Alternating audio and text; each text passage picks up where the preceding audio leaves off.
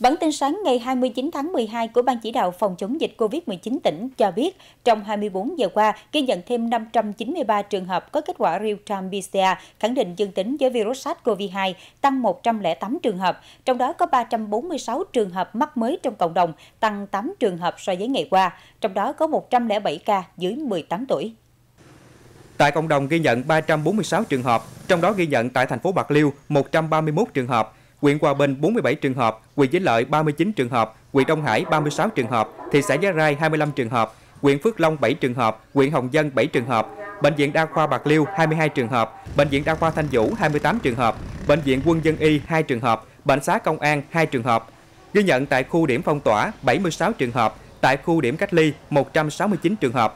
Ban chỉ đạo cũng cho biết trong ngày 28 tháng 12 có thêm 486 bệnh nhân xuất viện, nâng tổng số bệnh nhân COVID-19 được điều trị khỏi đến nay là 22.203 người. Hiện còn 6.274 bệnh nhân đang được điều trị, trong đó có 2.238 bệnh nhân được điều trị tại nhà, còn lại là tại các cơ sở y tế.